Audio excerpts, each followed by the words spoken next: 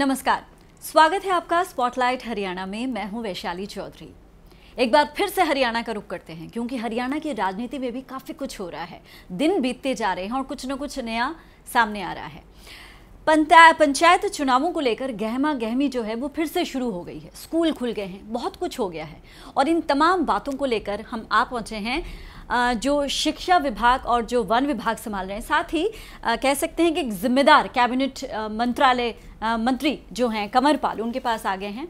पंचायत चुनावों को लेकर एक अहम बैठक हुई है। सबसे पहले हम इस बारे में बात करेंगे लेकिन उससे भी पहले स्वागत करेंगे कमरपाल गुर्जर जी का। बहुत बहुत स्वागत सर पीटीसी न्यूज़ में आपका। धन्यवाद जी। जी। पंचायत चुनावों को लेकर जिस पर सबकी नज़रें थी उसको लेकर अभी कुछ दिन पहले ही एक अहम बैठक हुई है। थोड़ी सी उसके बारे में पहले जानकारी दे दीजिए क्या कुछ रहा? सीएम भी उसमें मौजूद थे। जी। पहली बात तो ये है कि जो पंचायत चुनाव है बहुत ही महत्वपूर्ण चुनाव जी जी जी। ग्रामीण डेवलपमेंट के लिए सबसे इम्पोर्टेंट है। वो एक इकाई ऐसी है जिसके द्वारा गाँव का विकास किया जाता है। विधायक भी और मंत्री भी अगर विकास करना चाहते हैं तो वो कहीं ना कहीं उन्हीं के माध्यम से विकास होता है।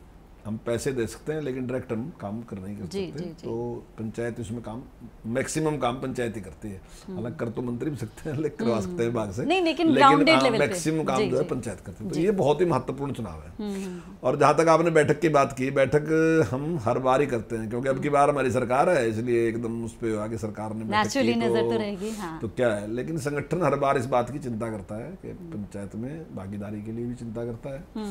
तो उस प्रकार की बात क्योंकि चुनाव अभी हो नहीं रहा हमारा तो मतलब चुनाव तो पहले होना था लेकिन उसमें स्टे होगी क्योंकि हरियाणा सरकार ने एक निर्णय लिया कि 50 परसेंट महिलाएँ चुनाव लड़े और 50 जी, जी। परसेंट पुरुष चुनाव लड़े।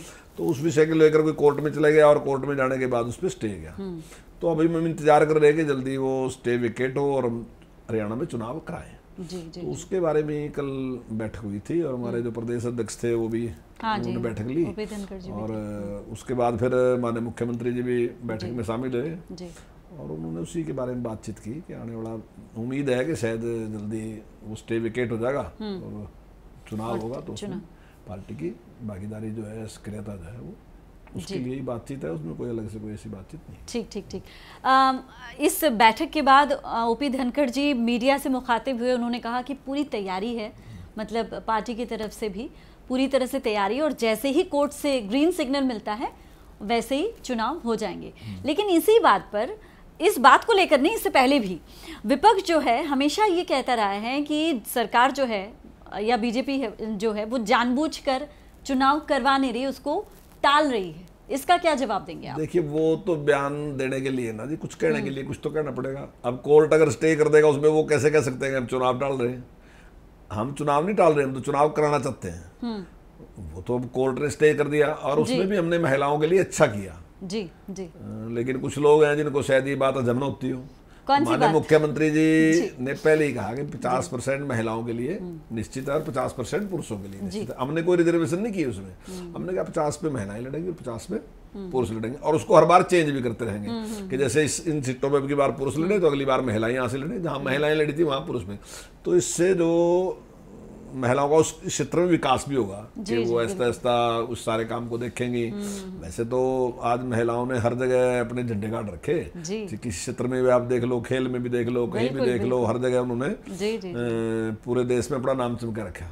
लेकिन इस क्षेत्र में मेरा समझता हूँ कुछ रुचि थोड़ी सी कम होती है महिलाओं की। तो धीरे धीरे वो रुचि बढ़े।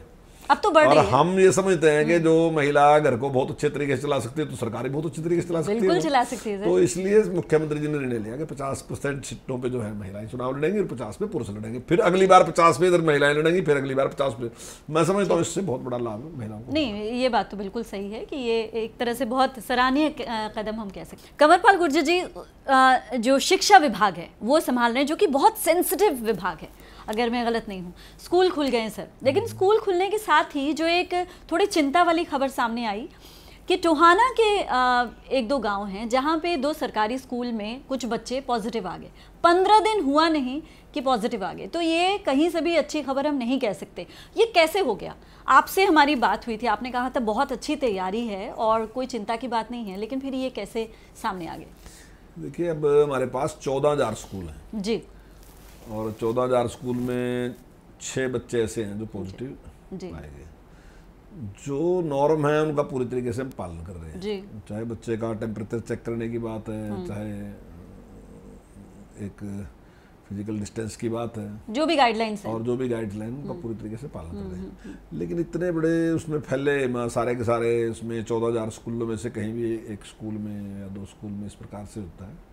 तो संभव है ऐसा लेकिन हमारा पूरा ध्यान है इसकी तरफ़ अच्छा और हमारे पूरी प्रयास ही है कि इस प्रकार में और ईश्वर की कृपा से इस टाइम जो कोरोना है वो लगभग लगभग नहीं वो तो ठीक है तरीके से कंट्रोल हाँ, में। हम्म। लगभग ज़ीरो परसेंट है उसका लेकिन मैं मानता हूँ कि निश्चित तौर से एक हमें भी इस बात की चिंता होती है कि कहीं भी स्कूल में एक भी बच्चा मिलता है तो निश्चित हम्म। तौर से चिंता है तो जहाँ जहाँ आया है जैसे जिन दो सरकारी स्कूलों में आया है वहाँ पर अभी क्या एहतियात बरते जा रहे हैं कि छह से सातवां ना निकल जाए नहीं नहीं उसके लिए हमने भी पूरा अच्छा। उस पर ध्यान दिया है और हाँ।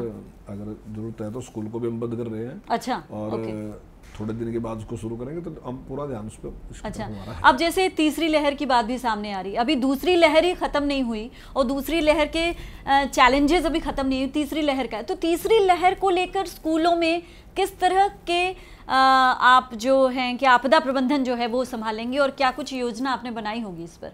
पूरी चुकसाई के साथ है। अगर हम्म। कहीं भी इस प्रकार की बात पाई जाएगी तो हम तुरंत उस पर निर्णय लेंगे। हम्म। पर लेकिन मेरा मानना ये है कि हम तीसरी लहर की वजह से ऐसा नहीं कि इंतज़ार करें तीसरी लहर का हम स्कूल बंद नहीं रख सकते। नहीं, नहीं, नहीं, तो लेकिन अगर कहीं भी हमें इस प्रकार का लगेगा तो हमने कोई भी निर्णय जो बच्चों के हित में लेना होगा तो तुरंत लेंगे। आ, कुछ एक पार्टियों की तरफ़ से ये भी बयान आया स्कूल खुलने को लेकर। उन्होंने कहा कि थोड़ी जल्दबाजी हो गई। क्या आपको लग रहा है कि ये जल्दबाजी थी या इससे ज़्यादा इंतज़ार नहीं किया जा सकता था? नहीं जल्दबाजी नहीं। देखो निर्णय लेने की ताकत तो होनी चाहिए सरकार में। हम्म। अब जब परिस्थितियाँ सामान्य है अगर आप उस टाइम भी निर्णय ले सकते हो तो आप निर्णय नहीं ले सकते इसका मतलब। निर्णय लेने का सरकार में मतलब सही टाइम हौसला होना चाहिए। और हमने बिल्कुल सही टाइम पे निर्णय लिया। हमारे बाद हालाँकि और सारे देश में जितने भी स्कूल खुले हम्म। सब प्रदेशों में सब में हमारे से बाद खुले लेकिन सबने निर्णय लिया हमने ठीक टाइम पे निर्णय लिया अच्छा। उत्साह के साथ निर्णय लिया। और चलिए ठीक है आगे हम उम्मीद करते हैं कि सब कुछ ऐसा हो और कोई कोरोना के केस ना एक छोटा सा ब्रेक लेते हैं।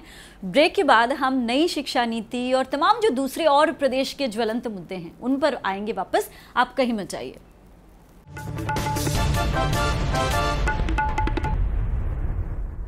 ब्रेक के बाद स्वागत है आपका स्पॉटलाइट हरियाणा में। हमारे साथ हैं कैबिनेट मंत्री कंवरपाल गुर्जर। नई शिक्षा नीति की हम बात करने वाले हैं उनसे। सबसे पहले तो ये जानना ज़रूरी है कि आखिर नई शिक्षा नीति जो सरकार इतना इसको आ, कह रही है कि नई शिक्षा नीति में ख़ासतौर पर बच्चों के लिए काफ़ी कुछ है तो ये नई शिक्षा नीति क्या है? ये जानना हमारे और आपके लिए बेहद ज़रूरी है। कंवरपाल जी ये बताइए सबसे पहले तो आप हमें समझाइए कि इस नई शिक्षा नीति में ऐसा क्या कुछ नया है और ऐसा क्या कुछ खास होगा जो कि फ़ायदा देगा। देखिए जो पूर्व हम्म। की शिक्षा नीति थी ना जी अब उसकी वजह से कुछ समस्याएँ सामने आई। हम्म। एक तो बेरोजगारी की समस्या बहुत बड़ी सामने आई। जी। बेरोजगारी की और एक जिस प्रकार से इंग्लिश को बहुत ही महत्व दिया गया। उसकी वजह से जो बच्चों का ड्रॉप आउट रेट है वो भी उससे हम्म। उसकी वजह से बढ़ा। मैं समझता हूँ उस पर जी। और जो दुनिया में सर्वे किया गया उसमें ये माना गया कि बच्चे को उसकी भाषा में अगर सिखाया जाए तो वो जल्दी सीखता है। हम्म। और उसके परिणाम अच्छे आते हैं। और अगर आप दुनिया में भी देखो चाहे आप जर्मन देखो फ्रांस देखो जापान देखो कहीं भी जो प्रगतिशील देश हम्म, है वहाँ पे तो उन्होंने इस बात के बारे में कोई समझौता नहीं किया। उनकी अपनी भाषा है। हाँ, हम्म, डॉक्टर डॉक्टर इंजीनियर सब कुछ वहाँ भी है ऐसा नहीं। लेकिन हमारे देश में तो एक ऐसी धारणा बन गई कि डॉक्टर इंजीनियर या कोई अंग्रेज़ी जानना वो ज़रूरी। सकता है जो अंग्रेज़ी जानता हो। और जो अंग्रेज़ी नहीं जानता तो वो बन नहीं सकता। हम्म, तो इस वजह से बहुत बड़ी संख्या में ऐसे लोग हैं जिनके पास बड़ी भारी योग्यता थी। हम्म। यानी कि वो बहुत कुछ कर सकते थे लेकिन केवल और केवल इंग्लिश की वजह से वो हम्म बिल्कुल पीछे रह गए। बिल्कुल हम्म, उनको मौका नहीं दिया गया। तो ऐसे बहुत लोग हैं जो अच्छा काम करके तो उस पर एक विचार किया गया और जो शिक्षाविद थे जो हम्म। बहुत विद्वान लोग थे उनके साथ बैठ के विचार किया गया कि नया क्या दें ऐसा तो इस शिक्षा नीति में एक लाख से भी ज़्यादा लोगों के साथ विचार विमर्श किया अच्छा। एक लाख से भी ज़्यादा लोगों के साथ विचार विमर्श किया गया। पहले जो थी वो पांचवी आठवीं और बारहवीं थी। जी। लेकिन जी। अब हमने इसको आगे बढ़ा दिया। अच्छा। तीन साल इसमें आगे बढ़ा दिए। तो अब हमने जो शुरू की है five plus three plus three plus four यानी कि दूसरी तक की एक शिक्षा तीन साल पहले उसकी हम्म, फाउंडेशन के लिए है दो उसका। और उसके बाद पांचवी उसके बाद अच्छा। आठवीं उसके बाद बारहवीं। इस प्रकार से इस शिक्षा नीति में एक नई शुरुआत की गई कि तीन साल बच्चा इससे पहले भी हम्म। उस पर ठीक ठीक ठीक उस पर ज़ोर देगा। और इसके अलावा और दूसरी इस बात पे ज़ोर दिया गया कि अगर कोई भी बच्चा स्कूल में जब वो अपनी पढ़ाई को पूरी करेगा प्लस टू करके बाहर निकलेगा तो उसके पास कुछ ना कुछ हुनर होना चाहिए। अच्छा। तो इसलिए हमने स्किल course जिसे हाँ बोलते हैं। वोकेशनल टीचर वोकेशनल जो कोर्स थे वो जहाँ हम स्कूल में जाके बड़ी क्लास से शुरू करते थे तो वोकेशनल जो कोर्स है वो हमने अब छठी क्लास से शुरू कर दिए। अच्छा। और जैसे ही कोई बच्चा पढ़ के निकलेगा तो उसके पास कुछ ना कुछ एक हुनर होगा अच्छी कि वो अपना काम शुरू कर सकता है। जी जी इसी प्रकार से अगर मैंने एक एडमिशन ले लिया मान लो बच्चे ने किसी कोर्स में एडमिशन ले लिया तो उसके बाद वो छोड़ना चाहता है उसको। हम्म या कुछ और करना चाहता है तो उसमें भी उन्हें छूट दी। अगर वो एक साल भी उसमें कोर्स में लगाता है तब भी हम उसको एक सर्टिफिकेट देंगे कि इसने अच्छा। इसका एक साल का कोर्स किया। अच्छा। अगर दो साल करेगा तो हम डिप्लोमा देंगे तीन साल करेगा तो डिग्री देंगे। तो इस प्रकार के ऐसा नहीं कि उसको ये लगे कि भाई मेरा टाइम तो लगा तो मेरा टाइम तो सारा सारा हम्म। बर्बाद है। अगर बीच में वो ऐसा है कि वो साइंस साइड में बच्चा है हम्म। लेकिन साइंस साइड के साथ हो कहता है मैं तो हिस्ट्री पढ़ना चाहता हूँ। ये बहुत तो कॉमन एक इशू था। दे दिया जी जी जी उसका उसमें बहुत इंटरेस्ट है और वो उसमें आगे बहुत कुछ कर सकता है। जी जी जी। तो अगर वो लेना चाहता है तो इस प्रकार से भी वो उसको छूट ये तो हमने भी फेस किया है सर ये वाली जो बात है ना कि आप एक स्ट्रीम में हैं उसके साथ दूसरे स्ट्रीम का एक सब्जेक्ट आपको पसंद है लेकिन वो आप कर नहीं पा रहे थे। हाँ तो ये चीज़, हाँ। उसका बहुत रुचि का जो सा विषय है वो उस विषय को भी अपने को ले सकता है ताकि उसमें वो वो कर सके। अब उसमें भी हमने दूसरा के जैसे किसी को इंजीनियर बनना है डॉक्टर हम्म। बनना है तो ये ज़रूरी नहीं है कोई इंग्लिश में ही करेगा। हमने ग्यारह भाषाओं का प्रावधान किया। कि अच्छा। ग्यारह भाषाओं में से किसी में भी वो अच्छा डॉक्टर इंजीनियर बन सकता है ऐसा अच्छा। नहीं है कि उसके लिए वो केवल निश्चित है कि इसी अच्छा। इसमें करता तो इस प्रकार से बहुत से परिवर्तन लेकिन सर ये ये चीज़ ठीक है कि सिर्फ़ अंग्रेज़ी को महत्व ना देके बाकी लेकिन जब आप इंटरनेशनल स्टेज पर जाते हैं तो वहाँ पर कई जगहों पर अंग्रेज़ी ज़रूरी हो जाती है तो ऐसी चीज़ों के लिए भी तो सरकार को सोचना ये सरकार जो है हाँ। ये नीति जो है हाँ ये नीति जो है वो अंग्रेज़ी के खिलाफ बिल्कुल भी नहीं है। अगर कोई अंग्रेज़ी पढ़ना चाहता है जी जी। तो बहुत खुशी से पढ़े। नहीं बिल्कुल। लेकिन हम उसको मजबूर नहीं करेंगे। आपको इंग्लिश पढ़ोगे तभी आप पढ़े बनने जाओगे। हाँ वो टेंशन में आ जाता है। हाँ मतलब ये नहीं है कि आप इंग्लिश पढ़ोगे तभी बनना जाएगा कि आप पढ़े लिखे व्यक्ति हाँ, हैं ये नहीं है हाँ पढ़ना चाहता है खुशी से पढ़ो इंग्लिश कोई इंग्लिश में रोक नहीं है।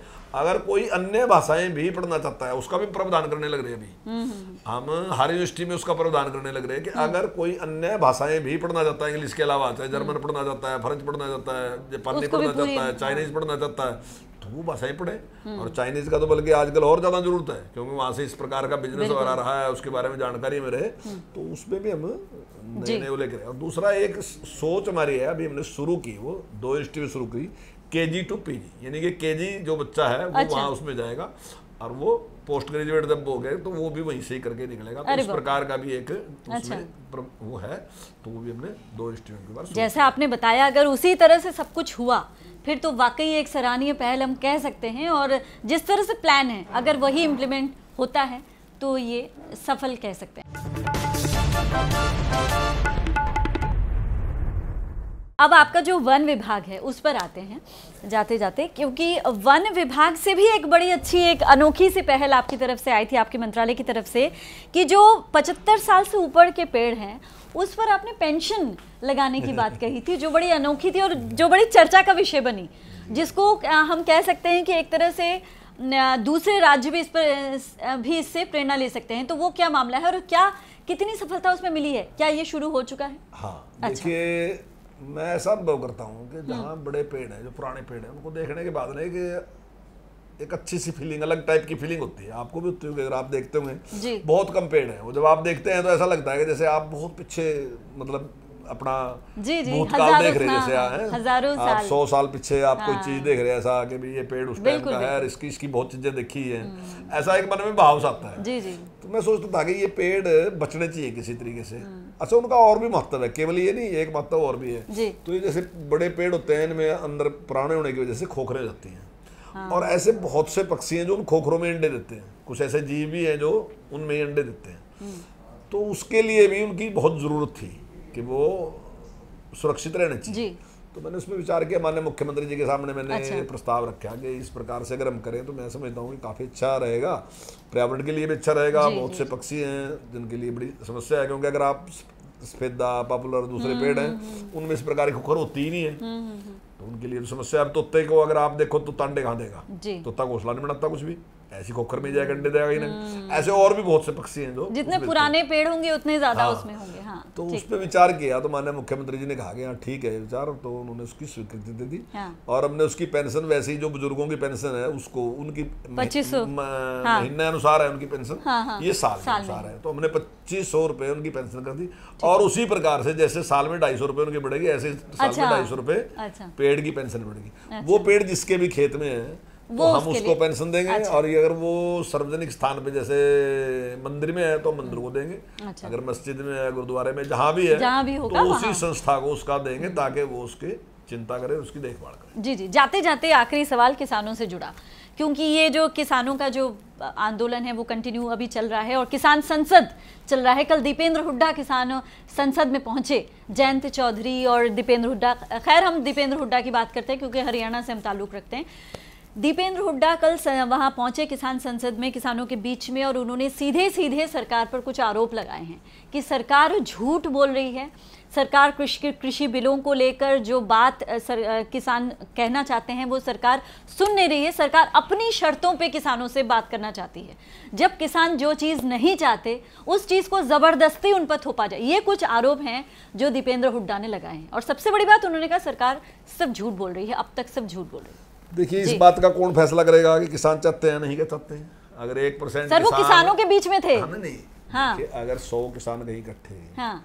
या 200 किसान इकट्ठे या दस हज़ार किसान इकट्ठे या बीस हज़ार किसान इकट्ठे गए तो पूरे देश के किसान कैसे मान लेंगे उनको पूरे देश के नहीं वो ठीक है लेकिन वो प्रतिनिधित्व तो कर दूसरा हाँ। पहली बात तो मेरा हाँ। ये है कि इसमें कोई सच्चाई नहीं है कि किसान इसके पक्ष में नहीं है। अच्छा। कुछ लोग हैं जो इसके पक्ष में नहीं है।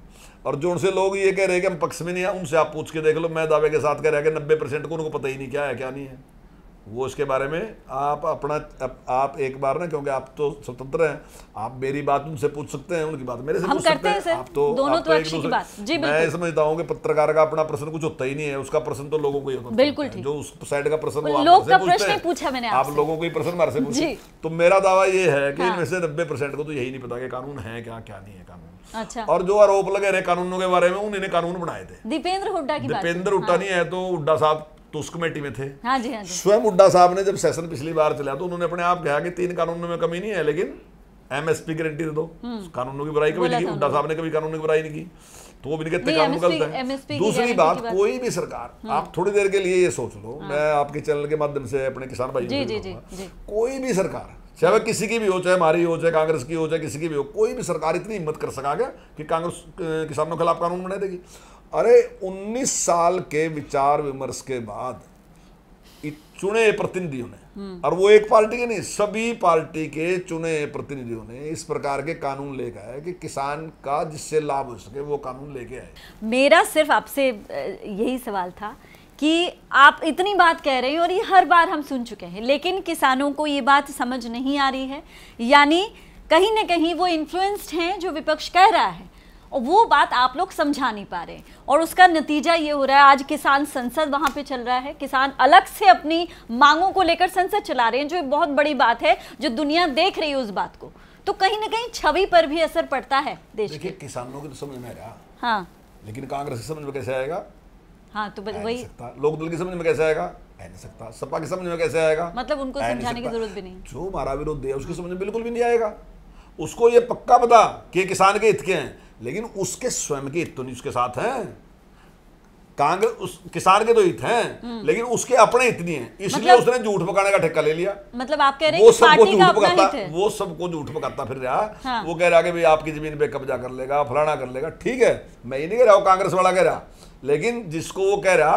वो इतना उसका सीधा सीधा लीडर तो नहीं है लेकिन वो उसका कार्यकर्ता वो सारा दिन यही बात कहता घूम रहा कि भाई अगर ये होगा तो आपकी ज़मीन पे कब्जा होगा अगर ये होगा तो मतलब ये बरगलाने का काम कर रहे हैं आप बोले रहे हम दावे के साथ कह रहे हैं अच्छा। कि वो कहीं भी एक जनसभा कर लें उसमें बातचीत कर लें। ओपन। आप अच्छा। टीवी पे डिबेट कर लें। अच्छा। आप संसद में डिबेट कर लें। कहीं भी तो कुछ तो बताएँ debate करें। ओपन डिबेट कहीं भी करें। जी।